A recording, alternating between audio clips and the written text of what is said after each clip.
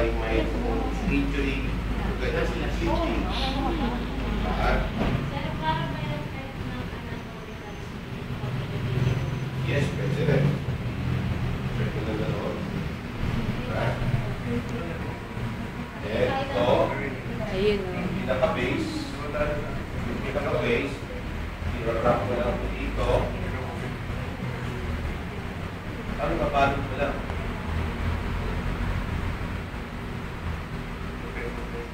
Hindi ko muna. Hindi mo. Hindi lang.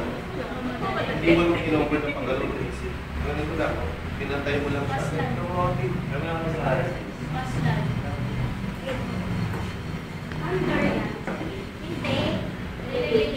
Ano lang mo? Ibig sabihin, may alas pantay lang siya nito. Tapos, yan ang ano, para mag Magpalagay ito. Hindi Ha? Oo. Ang lang ganito. Tingnan mo naman. Parang hindi na to. Ganito. Oo. Immobility ko. Mali. Teka, teka. Teka, tingin mo. Gagawin siya na lang. Pinantay mo sa tingin mo.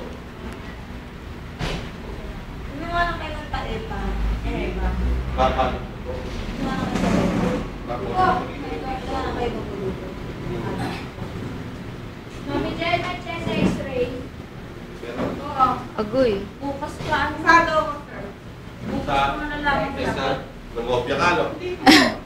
May problema sa amin. exam? Ano? Ay, lahat. kumakagal ka kasi ang dalawa. Ay, Anong exam? linisan ko na lang po to. Ini-CG si Frank eh. Ha? Ini-CG siya sa niya ako. Hanggat di Frank. bumaba pa, hindi ako pinalabas niya. ECG, encephalocardiogram. Pero, ECG. oh, yung medyo. Ay, mo, electro.